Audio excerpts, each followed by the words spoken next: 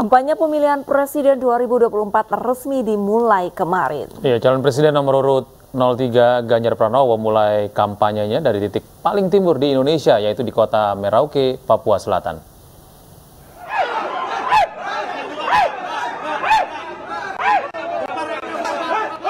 Kedatangan calon presiden nomor urut 3 Ganjar Pranowo di Bandar Udara Mopah, Merauke, Papua Selatan ini disambut warga dengan tarian tibei khas suku Asmat.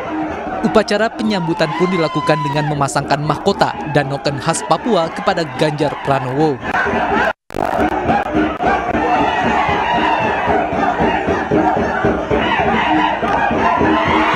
Selama di Merauke, Ganjar mengunjungi beberapa desa, di antaranya desa Waninggap Nanggo, distrik Semangga, Merauke, Papua Selatan.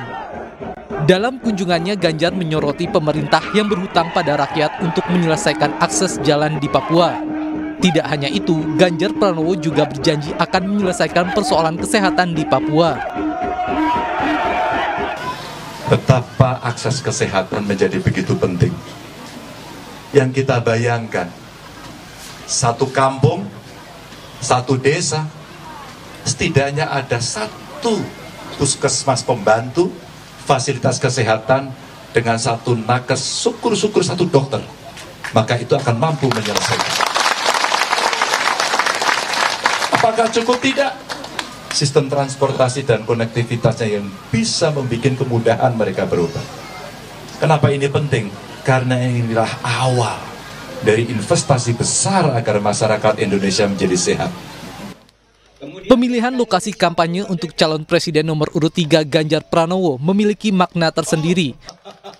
Kampanye di Desa Merauke dipilih lantaran di titik paling timur Indonesia. Inilah tempat paling awal menyambut matahari, tempat di mana rakyat paling awal memulai kerja dan usaha. Tim Liputan iNews melaporkan. Calon Wakil Presiden nomor urut 3 Mahfud MD mengawali masa kampanye Pilpres 2024 dari Sabang, Aceh. Ganjar dan Mahfud berkampanye dari titik timur dan barat Indonesia sebagai simbol persatuan Nusantara.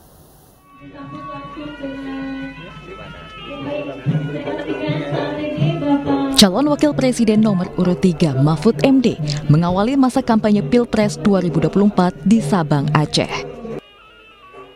Kehadiran Mahfud disambut antusias oleh warga desa Jaboy, Kecamatan Sukajaya, Sabang, diiringi upacara adat pesicek dan tarian sambutan Ranu Lampuan.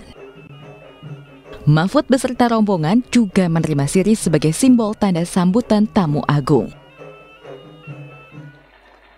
Sebelum memulai pidato, Mahfud beserta warga menyaksikan sambutan Capres Ganjar Pranowo yang berkampanye di Merauke, Papua secara live streaming. Ganjar dan Mahfud berkampanye dari titik timur dan barat Indonesia sebagai simbol persatuan Nusantara. Mahfud juga menjelaskan terkait warna hitam putih dalam logo kampanye yang digunakan paslon Cawapres-Cawapres nomor urut 3 Ganjar Pranowo Mahfud MD. Pokoknya harus hitam putih, jangan abu-abu. Kalau membuat kebijakan itu, ke sana bilang gini, besok bilang gitu, ke sini bilang gini, itu harus hitam putih. Saya mau begini agar Indonesia maju, bersatu, berdaulat, adil dan makmur. Ini hitam putih.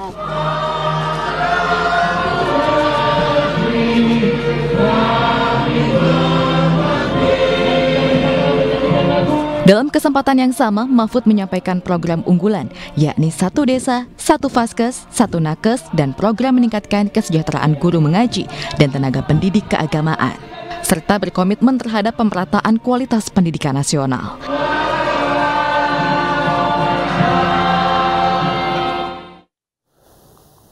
Pemirsa masa kampanye pemilu 2024 resmi dimulai kemarin dan akan berlangsung hingga 10 Februari 2024 mendatang.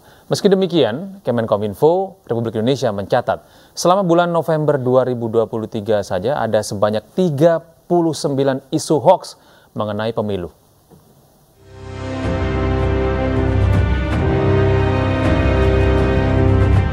Kemenkominfo mencatat selama bulan November 2023 ada sebanyak 39 isu hoax mengenai pemilu 2024.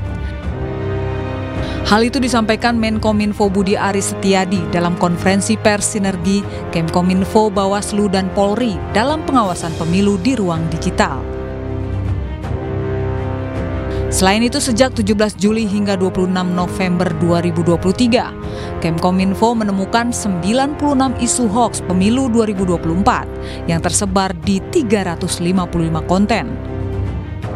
Meski demikian, Kemenkominfo sudah berhasil menutup 290 konten, sedangkan 65 konten lainnya masih dalam proses. Kondisi tersebut harus menjadi perhatian bersama karena dapat mengancam persatuan bangsa. Sejak 17 Juli hingga 26 November 2023, Kementerian Kominfo sudah menemukan 96 isu hoax pemilu yang tersebar di 355 konten. Kami sudah berhasil melakukan take down 290 konten, sedangkan 65 konten lainnya sedang diproses. Kondisi ini tentu harus menjadi perhatian kita bersama, karena berbagai konten negatif mulai dari konten mengandung hoax, hingga ujaran kebencian akibat perbedaan pilihan sudah banyak ditemui dan tentunya mengancam persatuan kita. Sebagai langkah antisipatif, menurut Kemenkominfo, diperlukan upaya yang masif dalam mengamplifikasi pemilu damai 2024 sebagai wujud ikhtiar bersama untuk mendorong masyarakat agar memilih dengan cara yang bijak. Dari Jakarta, Yasmin Atania, Novan Dwi Kusuma, iNews melaporkan.